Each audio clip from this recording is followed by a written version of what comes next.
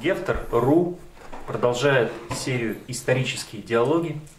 Сегодня мы беседуем с ведущим научным сотрудником Института российской истории, профессором Кириллом Соловьевым. Добрый день.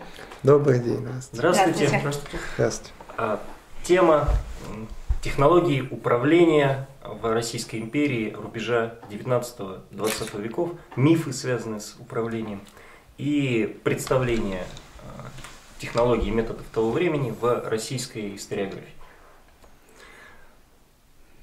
А, наш первый вопрос связан с тем, собственно, мы хотели услышать от вас нек- нек- некий монолог, с тем, чтобы мы сориентировались и вы дали нам какую-то систему координат. А что вы в этом времени считаете а, мифологическим субстратом? Чем-то, что действительно связано с мифологизацией власти, с мифологизацией практик управления? Ну, мне представляется, что практики управления как раз то, что мифологизации, может быть, и подлежит, но во вторую очередь. А вот проблема власти, да, конечно, она подлежит мифологизации, и, собственно говоря, на основе мифа и строится. Ведь, ведь две, есть э, два совершенно как будто бы разных субстрата. На самом деле, конечно, они пересекаются. Управление и власть. Управление, она определяется прежде всего возможностью эффективно решать вопрос, которые стоят перед властью. А власть стоит при другой задаче. Она должна убедить в том, что она является властью. Убедить себя, убедить окружающих. А, И она убеждать будет через миф. Она должна создать тот миф, который будет, во-первых, воспринят публикой, а главное, он будет убедительным даже для самой власти, что очень важно. Вот главный миф, который вот имел место в 19 начале 20 века, это миф о самодержавии. Вот мне представляется, что это как раз тот миф, вокруг которого, собственно говоря, власть и строилась. Но почему э, у власти тот или иной человек? Ну, потому что так вот было э, завещено сначала там Симским собором, Господом Богом, традицией, историей. Но в любом случае, именно потому, что у самодержца отец был самодержец, и дед был самодержец, он является как раз источником власти. Это не значит, что на самом деле на практике это было так. Это не значит, что на самом деле технология управления соответствовала этому мифу. На самом деле на практике как раз получается обратное. Мы видим с вами минимизацию функций императорской власти на протяжении всего XIX века. До такой степени, что уже к концу XIX века уже можно было усомниться в том, что кто принимает решение, император или та сложная бюрократическая машина, которая уже складывается и сложилась к концу XIX века. В этом смысле, может быть, даже поставил так вопрос, мне не кажется, что в этом что-то такое новаторское, оригинальное, но тем не менее, мне представляется, что эта постановка вопроса оправдана. Вот, скажем, в Петровскую эпоху, когда в распоряжении Петра I был ничтожный бюрократический аппарат, это где-то 7 тысяч человек на всю страну, у него личной власти, самодержавной власти было существенно больше, чем это будет, скажем, в царстве Николая I, где количество чиновников увеличится более чем в 10 раз по сравнению с началом 18 столетия. А вместе с тем функции императорской власти, собственных возможностей станет именно самодержавной власти станет существенно меньше. И эта тенденция, она будет продолжена. Вот мне кажется, что вот этот коренной миф, он как раз и важен. Он важен почему? Важен не только потому, что так это представляли себе сами императоры. Они действительно, ведь не случайно же Николай II записал э, в переписном листе, что он хозяин земли русской. Он ведь так думал. Э, но еще даже важнее, что так видится это и многим сейчас. И политическая история начала 20 века, да и конца 19, вообще всего 19 века, считывается как история самодержцев. Собственно говоря, мы ее и хронологизируем очень часто по царствам, по периодам правления. И в этом смысле мы не будем совершенно оригинальны. Вот у э, Сергея Михайловича Соловьева, его воспоминаниях, есть такая очень, я часто привожу эту историю, она, по-моему, сама по себе забавная, показательная. Э, у него есть рассказ о том, как он беседует с, э, с Хомяковым э, в самом скором времени после кончины Николая I. И Алексей Степанович Хомяков рассказывает, какой будет замечательный новый император. Почему? А очень просто почему. Потому что вот И дальше начинает Хомяков тянуть историю с Петра Первого. У него шло, э, русская история – это чередование добрых правителей и дурных правителей. Вот Петр I хороший правитель, потом почему-то Екатерина I дурная, потом э, Петр II почему-то опять же хороший, почему-то очень сложно объяснить и так далее. И так он доводит до Николая I, который был дурным правителем, по мнению Хомякова, а уж следующий Александр II, безусловно, будет добрым правителем. Э, но на самом деле вот эта как такая нехитрая историософия, она действительно была крепко сидела в головах и у тех, кто на самом деле даже представлял собой и оппозицию российскую к концу XIX века. Не случайно были ожидания, что произойдет смена курса с началом царства Николая II. Она именно на этом и строила. И, кстати, по большому счету, она бытует в современной историографии. И в этом смысле современная историография, она, так скажем так, Э, скрытно монархическая. То есть она выстраивается вокруг этого именно монархического мифа. Как бы по умолчанию подразумевая, что все решал император, все зависело от его настроения, от его психологического склада, от того, с кем он общался. Все это, и вот надо иметь в виду, все, конечно, нельзя в таком полемическом пылу говорить, что это все не так, это все неправда, но э, это все намного более сложно, с одной стороны, а с другой стороны, это намного все более интересно, чем это вот представляется, исходя из такого сугубо мифологического взгляда. Вот, вот такая вот а, интересно. Постановочный ну, монолог. Но у вас оказывается, что сложившиеся привычки и наследие какое-то-нибудь есть миф, так? В этом случае миф не нужно оформлять э, идейно, его не надо представлять идеологически, объяснять как некоторую рациональную складку или рациональный мотив системы. В этой э, вашей, вашей э, системе координат, видимо, сказы о власти и миф не одно и то же, но тем более миф и некое рациональное обоснование системы не должно быть одним и тем же. Все-таки вы проводите различия между тем, что говорит а, Хомяков а, и ему подобные, вот эти чередования хороших и плохих, это же фактически некие анекдоты, каламбуры, сказы, привычки, все что угодно, но никак не рациональная основа того, что есть ограниченная или неограниченная монархия. А вот в том-то и дело, что на самом деле в рамках того мифа, который был, монархия была, безусловно, не ограничена. Да, конечно. Вот интересно, каков рациональный мотив обоснования неограниченности монархии, если мы уходим от подобных рассказов, от сказаний о власти. Э, э, что, то есть рациональное обоснование, да. то есть рациональное да, обоснование да. неограниченной власти. Ну, потому что Но тут в начале два, 20 два нужно уже было два, именно оно. Два момента. кажется, рационально нужно обосновывать ограниченность монархии, а ее неограниченность а вы знаете, как бы следует э, самого понятия ну, когда Вы знаете, это, это правильно, вы правы, правы, правы, правы. Тут в чем проблема? Действительно, если мы идем таким инерционным путем, то ничего не нужно обосновывать. Все как есть, да. так и есть, все замечательно. Но когда как ситуация попадается в положение да. такой турбулентности, угу. то нужно обосновывать существующий порядок вещей. И он, естественно, по логике должен быть действительно рациональным. Это правда. Э, в этом смысле э, действительно во второй уже половине XIX века появляются такие рациональные э, модели. Я о них скажу. Но я просто хочу оттенить один важный момент. Это мы, есть рациональные обоснования самодержавия, именно неограниченной власти самодержца, при том, что на самом деле это самодержавие по факту было ограничено. То есть, по большому счету, самодержавие в том виде, в котором его рационально обосновывали, его не было. Да, собственно говоря, те, кто его обосновывали, они сами, в общем, э, давали себе об этом, в этом отчет. Э, конечно же, вот обоснование этого, оно приходит э, из славянофильской и неославянофильской угу. среды. А, в чем была идея? Она, в общем, на самом деле довольно-таки нехитрая, понятная. Конечно, четко проводилась мысль о том, что самодержавие – это не абсолютизм. Потому что абсолютизм европейский – это как раз механизм подавления человеческой воли. Это то, что выстраивается на основе коллектива, у которого так или иначе выделяется такой лидер, который обладает возможностью, механическими возможностями устанавливать свое господство. А русское самодержавие, оно основывается не на коллективе, а на соборном единстве, которое предполагает гармонию всех а, во имя общего интереса. И что тут на самом деле важно? Что, во-первых, это самодержавие само по себе, оно ограничено внутренним своего понимания, своим, э, своей сопричастностью ко всем. Будучи частью вот этого соборного единства, оно не может его подавлять, уничтожать, оскорблять, унижать. Э, и поэтому, э, ну это на самом деле такая школьная вещь, она довольно банальна, тем не поговорить стоит, и поэтому нужно четко размежевывать то, что является сферой прерогативы власти, а то, что относится к так называемой земле.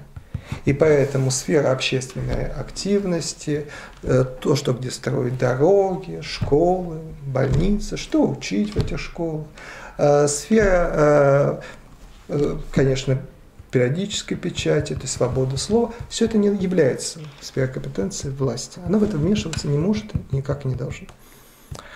Зато есть, напротив, финансы, внешняя политика, военное дело. Этим будет заниматься как раз власть правительства. Самодержавие. Но э, самодержавие, что, в чем, вот тут, это тут как раз рациональный момент очень любопытный. В чем коренное преимущество самодержца перед, скажем, депутатом какого-нибудь европейского парламента или министра? Ведь на самом деле очень много или разных президент. текстов, или президента, много разных текстов, ну, на тогда президентская власть для Европы, это, в общем, не вещь такая экзотическая в смысле, но только такими короткими периодами, то, который потом вырождается в империю.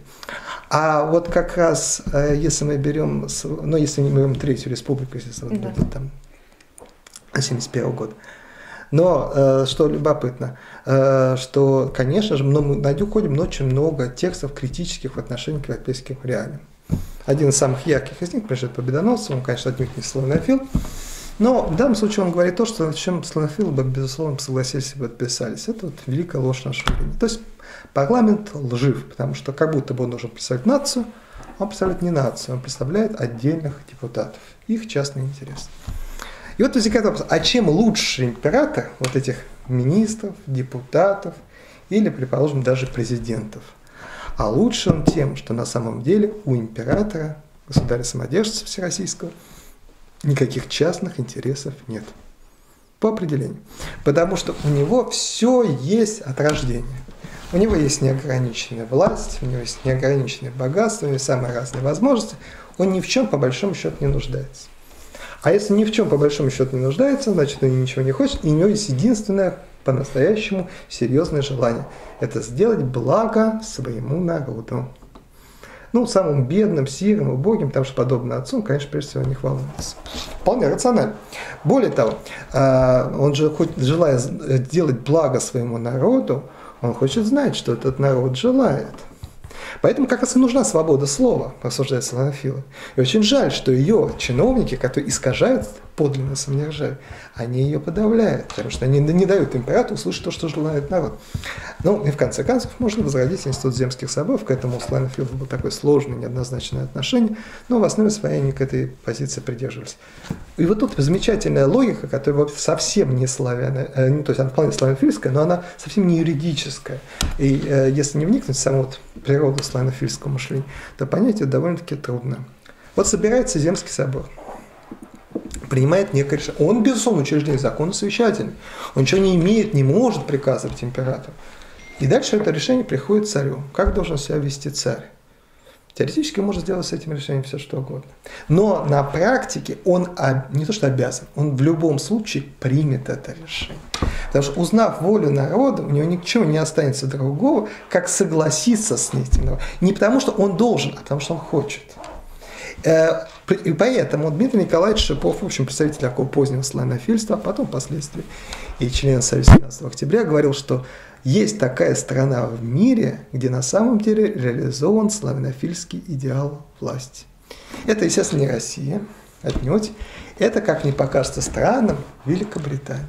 Вот в Англии утвердился славянофильский идеал. Там нет писанной конституции, там довольно э, скромные с формальной точки зрения полномочия парламента, наоборот, очень пространные полномочия у монаха. Тем не менее, на практике этого нет, потому что есть традиция, договоренность и взаимное согласие разных сторон участников этого политического процесса.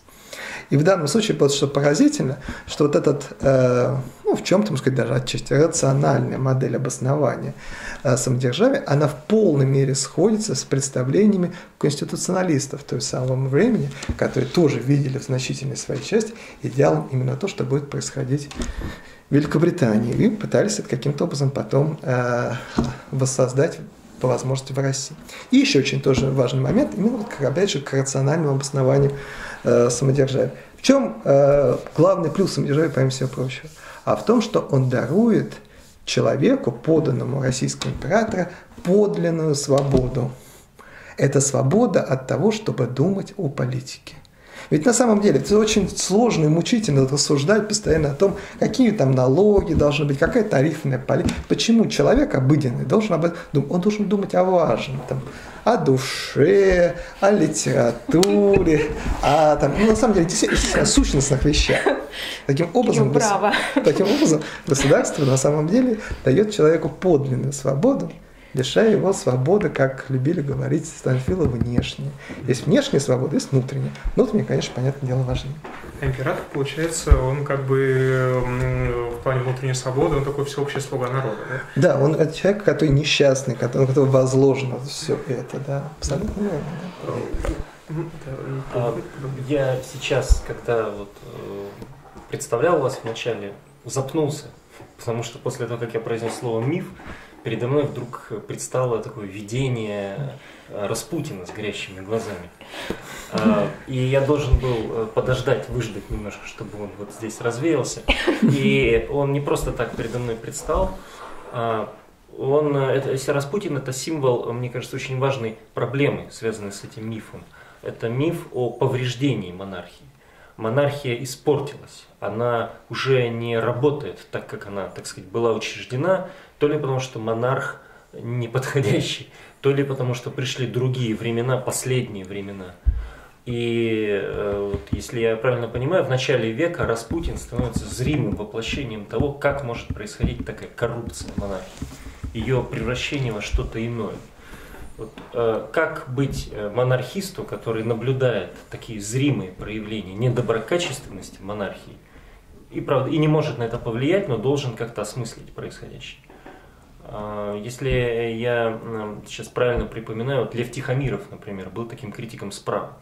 Он Маклаков. критиковал а, монархию за недостаточность воплощения монархического идеала, неполноту. И за то, что она уходит от этого идеала дальше и дальше из-за капризов отдельных лиц. А, в этом смысле вы абсолютно правы, что действительно критиков справа было, ну, наверное, меньше, чем слева, но тоже довольно-таки много. То есть я бы даже более того сказал, не так сложно вспомнить какого-нибудь видного общественного политического деятеля не на государственной службе, а именно занимающий какую-то общественную позицию, который бы не критиковал по тем или иным причинам тот режим, который сложился. Леонтьев. А, ну, понимаете, чем я? У Леонтьева все-таки позиция немножко другая. Он как бы вне политики. Поэтому его, э, он на политическую конъюнктуру непосредственно не откликается. Это раз. Во-вторых, он все-таки существует в такой ситуации, где э, все, что он думает, сказать в прессе прямо тут же нельзя. А вот после пятого года можно, все, что хотите. Э, такой свободы слова, как она будет от 6 по 14 год в России, наверное, не будет никогда. То есть, действительно, вы, вы вправе высказаться о чем угодно, в том числе о судьбе государя-императора на страницах официальной столичной, ну, не официальной столичной печати. И э, мы с вами видим, что на самом деле вот люди, занимающие крайнюю позицию, ну, скажем, Владимир Петрофанович Полишкевич, он выступает критиком существующего режима. Ну, конечно, будет критиковать справа. Но, правда, в Доме они любили шутить, что если он особо активно критикует правительство, это по двум причинам. Либо ему совсем недавно заплатили, из Министерства внутренних дел, поэтому он свободен, может говорить все, что хочет. Либо он ему давно не, не платили, он намекает, что очень пора уже рассчитываться. Но, тем не менее, он себе позволял все, что угодно, ровно как и другие лидеры, там Николай Евгеньевич Марков, там Андрей Сергеевич Визигин, там много таких было. Э, то есть, на самом деле, самодержавие как а, реальное ее воплощение, естественно, как реальная практика, она не устраивала представителей правомонархических кругов, в общем, они исходили из такой, я бы сказал, все-таки с такой классической славянской позиции. Не реализован в полном смысле или искажен, э, искажено подлинное самодержавие. Мысль об искажении самодержавия, ведь на самом деле она будет и в славянофильстве заложена, собственно говоря, это хорошо известная вещь. То есть самодержавие, оно утрачено. Ну вот, может быть, с петровских времен, может быть, чуть позже, неважно.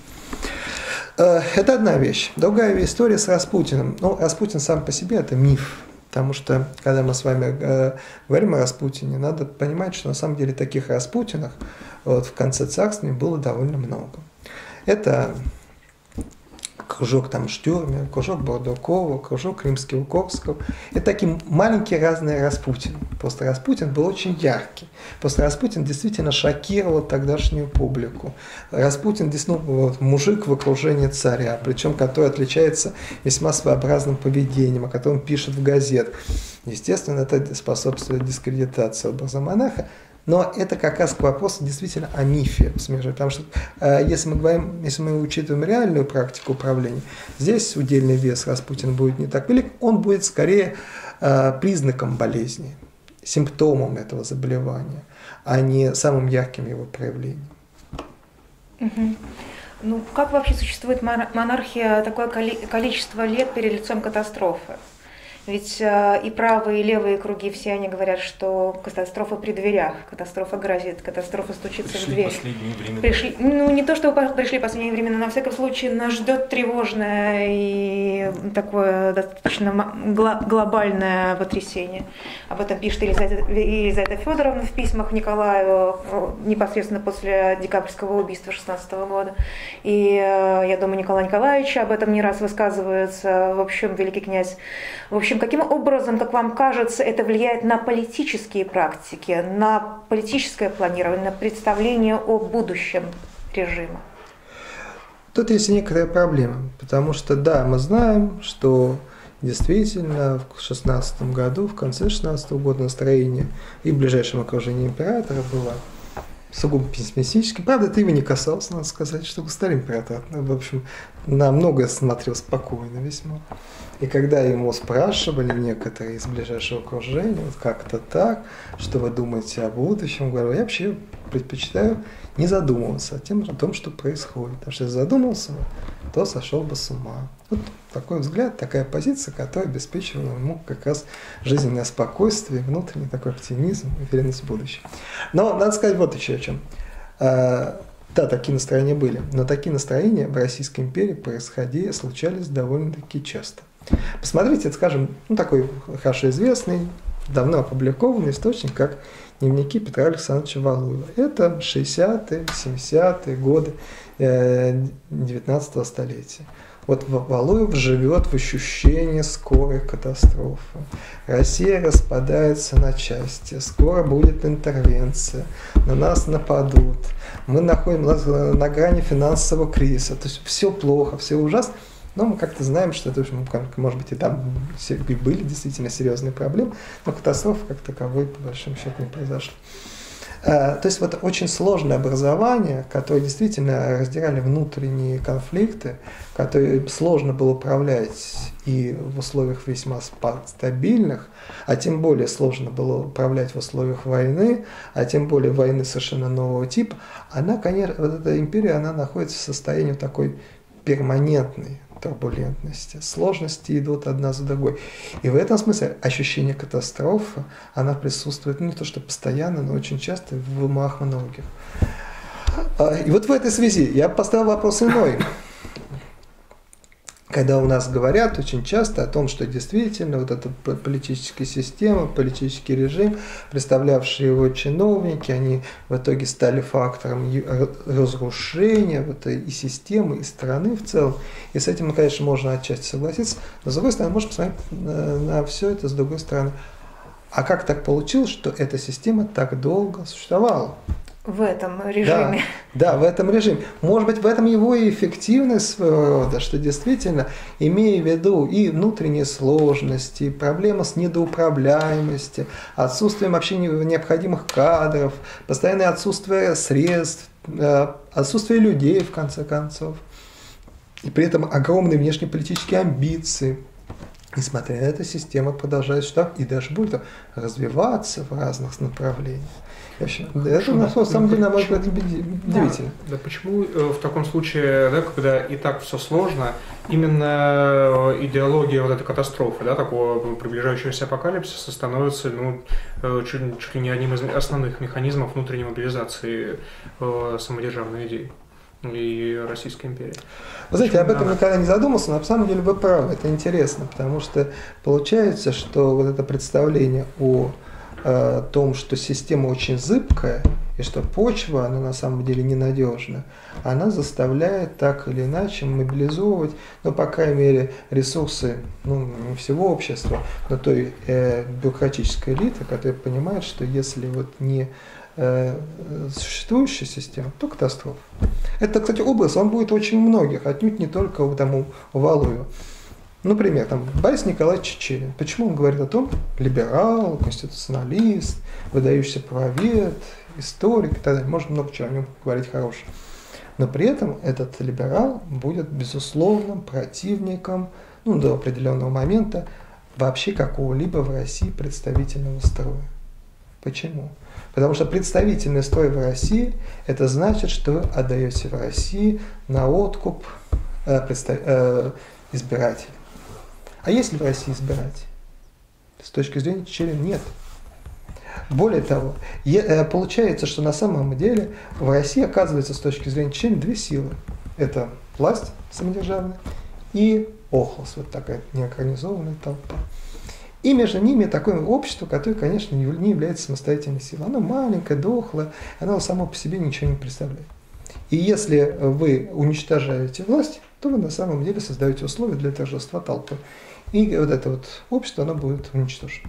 Раз. А если же вы э, гарантируете существование власти, то эта власть может действительно создать более-менее приемлемые условия жизни для этого общества. Оно будет постепенно развиваться, расширяться, и потом его станет так много, что уже тогда можно будет задуматься о возможности в России парламента. Конституции. Но этот парламент будет, конечно, не демократический, потому что Чечерин жесткий противник демократии. Он будет формироваться из крупных землевладельцев. Это наиболее надежная социальная группа. Так рассуждает либерал Чечерин. Но консерватор-победоносцев будет рассуждать, в общем-то, примерно схожим образом. Он будет говорить о том, что в России это вот снежная пустыня, а по ней бежит э, лихой человек. Вот это, а управляться с этой ситуацией можно лишь одним образом, с помощью жесткой власти. Но Победоносцев, в отличие от Чечерина, пессимист. Если Чечерин еще видит какие-то перспективы в будущем, то Победоносцев видит одну перспективу – революцию. Вот как это не покажется странным, консерватор Победоносцев убежден, что революция в России совершенно неизбежна. А что значит, что делать в такой ситуации, чтобы эта революция не случилась? Главное ничего не делать, потому что чтобы, если вы что-то будете делать, вы только будете ускорять процесс. А лучше, задача максимум, оттянуть. То есть получается, что на самом деле вот этот апокалиптический образ будущего, он был характерен для очень многих. И справа, и слева, и здесь на самом деле в каком-то смысле был консенсус. Ну как же оказывается, что консерваторы, я вот оговорилась, вместо Шульгина назвала Маклакова несчастьем. Нет, я подумал, что вы имеете в виду Николая Алексеевича Маклакова. А, но, тем не менее, э, люди вроде Шульгина, Пуришкевича или той же самой ну, упомянутой Елизаветы Федоровны, которая пишет, э, телегра- телеграфирует Феликсу поздравления относительно убийства э, Распутина, оказываются более радикальными, чем э, либералы. В Да. этой, в, в- вот в этой сетке координат, ко- которую мы сейчас обсуждаем, катастрофа с одной стороны, а с другой стороны инициативы тех самых подданных, которые должны бы выказывать в этой ситуации большую лояльность. А, Да, это действительно примечательный факт, потому что это на самом деле видно даже по позиции многих а, в Думе, в прогрессивном блоке, потому что кадеты, они будут бояться революции. Вот это, причем важно, это не то, чтобы это вечная какая-то аксиома, что это российские либералы, они не хотят революции, они хотят только реформ. Это не соответствует действительности, потому что российские либералы в пятом-шестом году были сторонниками революции особой революции, у них особое было понимание, другое, чем у там, социал-демократов или эсеров, но тем не менее они э, слово революция не боялись, никакой аллергии оно не вызывало.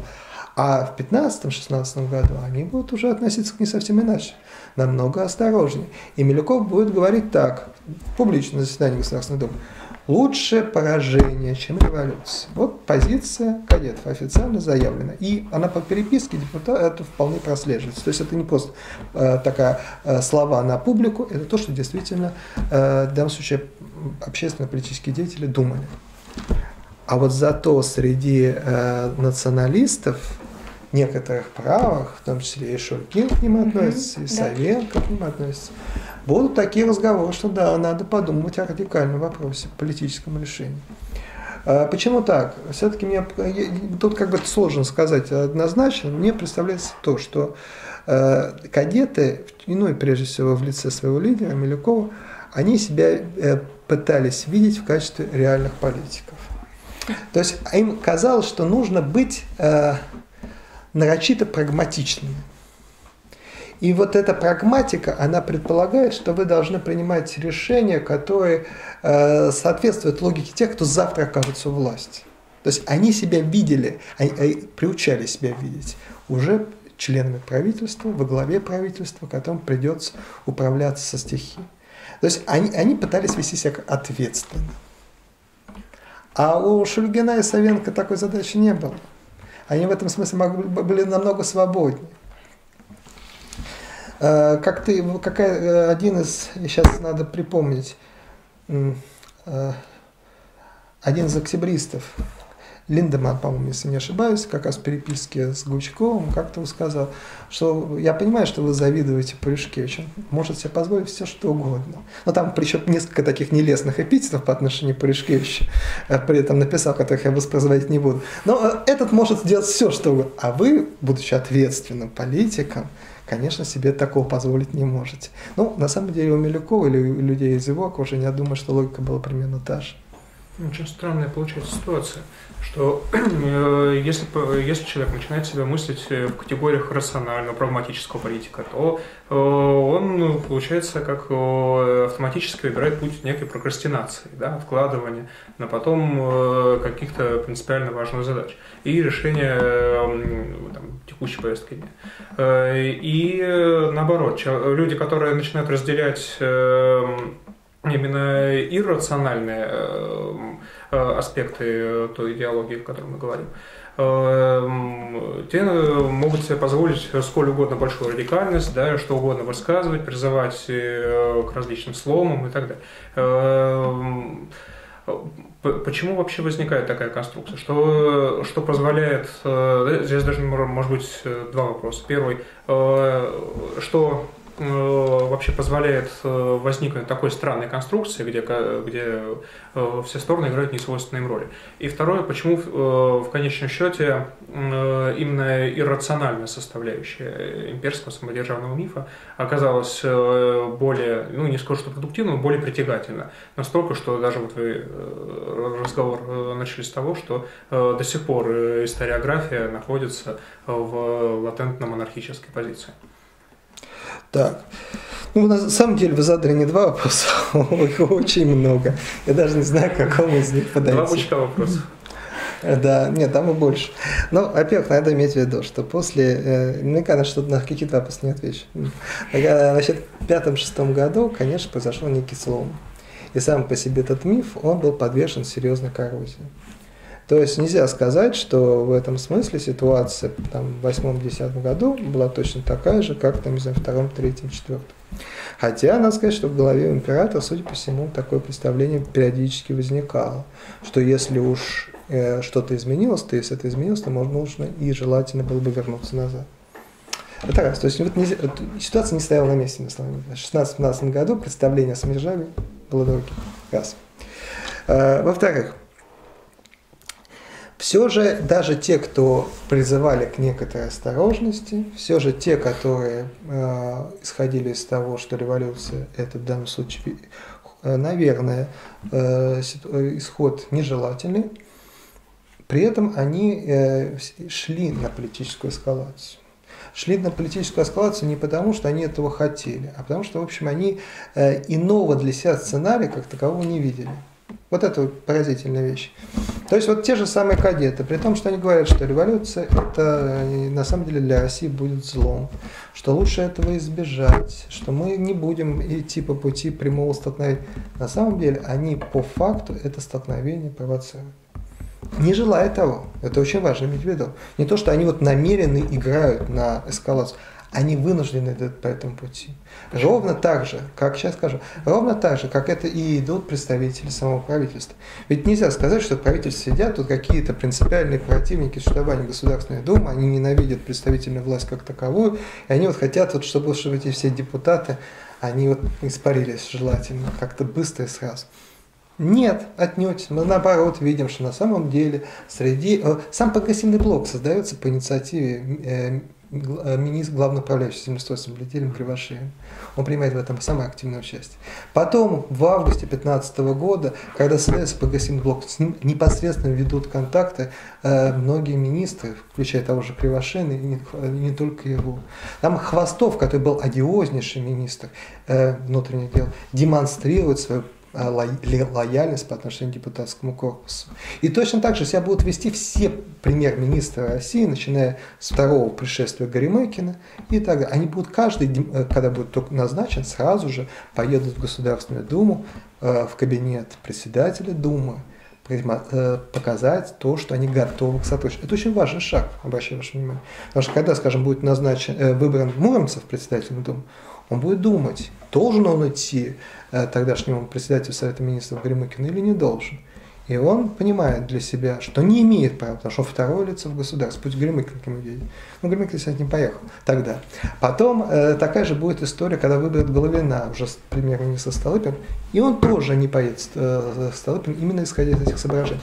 А Гучков, когда выберут его уже председателем, и Хомяков до него, естественно, они будут уже ездить к Столыпину, демонстрируя таким образом, что они все же, именно они являются стороной, э, ну, не то что подчиненной, но вторичной в значительной мере по отношению к правительству. А вот уже с Горемыкина ситуация изменится. Он поедет в Думу, Штюрмер поедет в Думу, там, Трепов поедет, Галиц. То есть уже слож... Галица не успеет. То есть та же самая слож... новая сложится модель, исходящая из Совета Министров. Ну, тут можно много приводить примеров, самих, самих по себе очень интересных. Но проблема в чем? Проблема в том, что у них была разная повестка дня. Совет министров как институт, начиная где-то с 2012 года, очень быстро деградировал, утрачивал всякую субъектность. Это было связано с многими причинами. Одна, некоторые были заложены в самом институте управления, многое было связано с тем, что э, фигура Столыпина в свое время безумно раздражала Николая II, ну, прямо об этом заявил ну, Ковцов. А, и, в общем, Кравцов пытался этого уже никаких ошибок столыпинских не совершать, не заслонять с собой императора, как будет, сказано ему со стороны Александра Федорова. Э, плюс при этом появятся партии внутри э, правительства, они будут очень сильны, они будут раздирать постоянно правительство как единое целое. То есть от единого правительства не останется следа. И э, это что значит? Значит, что центр власти перетягивается опять вновь к императору ну, понятное дело, не к императору, он не может технологически это решать, а к разным уже теневым механизмам влияния принятия решений. Отсюда как раз то, что в историографии называется распутинщиной. И о чем я уже сказал, это не один Распутин, это много маленьких Распутинов, которые как-то пытаются влиять, урывать свой кусочек у власти, ну, какую-то чаще всего личную преференцию. Они ведь волнуются там не о судьбах Отечества, они чаще всего интересуют какой-то их корыстный частный интерес. И портят, это, портят и это, они, но, я, они, они, они, очень важно, что они разрушают публичное пространство политики. То есть в действительности сфера публичности, она очень скукоживается. Что из этого вытекает? Из этого вытекает то, что на самом деле, и это можно проследить по многим э, параметрам, я сейчас не буду это делать, Совет министров на самом деле становится техническим учреждением. И несмотря на то, что министры готовы говорить с депутатами о чем угодно, а имеют право не говорить, из вопросов сугубо вторичного свойства. А в это же время в Думе происходит возникновение уже полноценного большинства – большинства, которого никогда не было. Его не будет ни в первой думе, ни в второй, ни в третьей. И вот теперь в четвертой думе впервые это большинство сложилось, и оно сугубо оппозиционно по отношению к действующей власти. То есть тут уже у Думы появляется политическое лицо, соответственно, политические требования, попытка политического диалога, а министры, они к этому диалогу просто не готовы, не о чем говорить с Думой. И вот возникает неизбежное столкновение. Ну, плюс еще, конечно, фигуры появляются очень специфические, вроде там того же Штюрмера или там Протопопова под конец уже. Это вот такая вообще комическая во многом фигура. Но, э, тем не менее, сама по себе природа этого кризиса, это, мне представляется, она э, институциональная, не, не личная. И это толкает к эскалации, толкает к конфликту. И в итоге э, получается, что стороны сталкиваются лбами, при том, что они, в общем, как будто бы готовы к диалогу. Вот я ответил еще на какой-то вопрос ваш, но э, явно намного не ответил. Теперь по поводу, э, почему миф о самодержавии, он настолько привлекателен. А он привлекателен, не представляется в том числе и потому, что вообще власть очень легко и просто персонифицировать. Сводить к какому-то ни, ни, ни к институту, ни к практике, а конкретному человеку. Вот все решает он. Он ответственен, он виноват, он принял решение, у него было плохое настроение, поэтому так и получилось. Он умный, поэтому все идет замечательно, он глупый, поэтому все проваливается. А на самом деле и вот в любом, э, даже детском сознании присутствуют эти представления о там, монархии, о царе, о правителе. Это всегда интересно здесь. И вот это, э, оно действительно восприятие мифологической власти – оно э, даже в республиканских обществах имеет некоторую такую монархическую подоплеку. Собственно говоря, помните, когда, скажем, э, создавалась американская конституция, ведь тоже подумали о том, чтобы эта американская конституция имела бы собой вот, под президентским властью некую аналог именно монархической власти. А когда, скажем, не знаю, там Деголь э, готовил под себя уже Конституцию Пятой Республики, то там ведь не случайно 7 лет было предложено президент, президенту, потому что 7 плюс 7 это 14, а 14 лет это средний срок правления французских монархов на протяжении всей истории. То есть вот посчитали, что вот и французский президент должен примерно столько же, оказывается, оставаться в власти. То есть вот этот монархический миф, он на самом деле очень живуч. И отнюдь не только в России, не представляется. Ну, почему? Ведь это же не просто монархический миф, да, это самый не знаю, самая наивная, что ли, составляющая там, монархического мифа, которая оказывается в то же время самой живущей. До возникновения критики в ее адрес это, в общем, ну как-то объяснимо. После возникновения критики, когда она э, должна рационализировать, концептуализировать себя, вот, э, тем не менее все рационализации отпадают, да, в той, в той же, допустим, э, в тех же республиканских обществах э, этот миф присутствует, но на глубокой периферии. Вот. Э, допустим, те же отцы-основатели э, скорее носили его к тому самому Охлосу. Да? Э, его нужно не допустить в публичное поле политики, наоборот, нужно выстроить сложный выбор, чтобы вот этот наив не влиял. А почему в таком случае у нас он оказывается одной из, одной из самых долгоживущих, долгоиграющих идеологических пластинок? Ну, смотрите, на самом деле, возьмите президентские режимы в мире – и посмотрите, там индексы демократии в мире.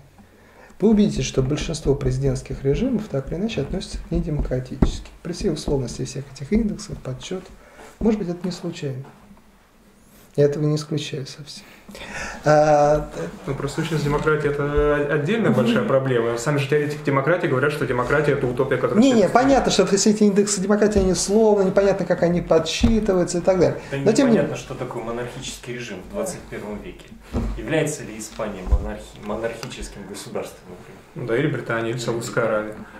Не, ну Саудовская Аравия, думаю, определенно является.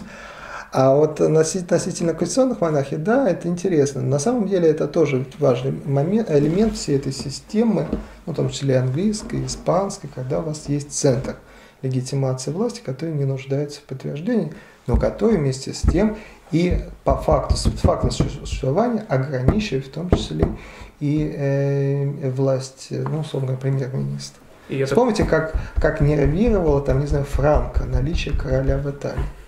Он ничего с этим поделать не мог, он терпел. Но в том, что его это очень раздражало. Ну, его это очень устраивало.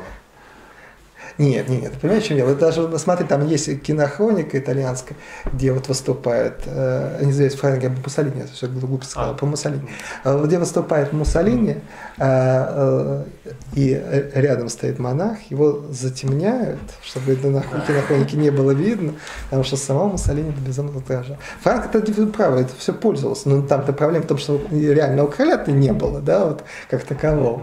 А тут все-таки он был как я все же хочу вернуться к теме вот, э, э, такой коррупции монархии, ну, не в современном понимании э, фонда, к каком это слово использует фонд борьбы против коррупции, а коррупция как такое постепенное, но неотвратимое ржа.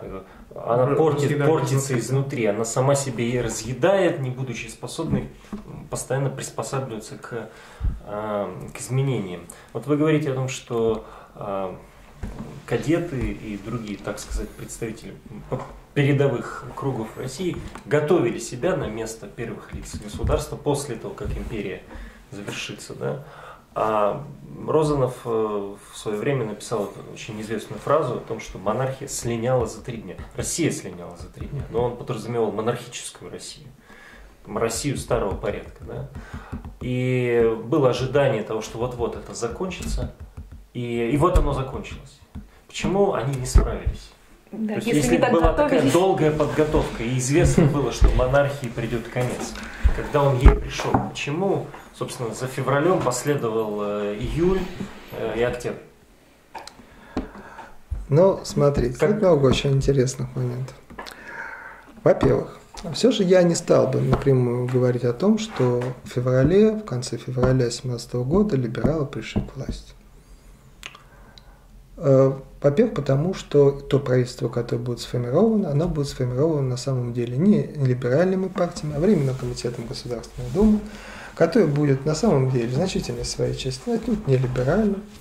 И там будут на самом фигуры разные.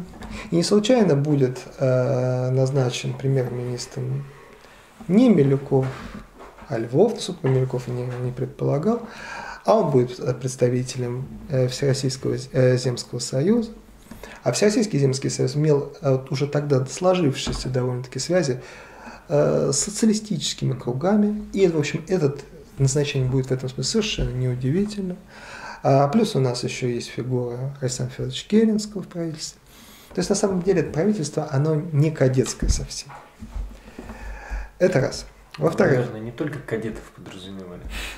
Понимаете, в чем дело? Э, Все же на тот момент лидеры либерального движения, безусловно, кадеты. Октябристы уже с 13 года рассыпались на части, угу. их нет. Остались отдельные фигуры, отдельные яркие ну, личности, или Александр Иванович Кучкова, да, или, ну, скажем, Годник будет включен да. правительство. Но это не, они, в общем, партию не представляют, за ним партийной силы никакой нет. У кадетов есть.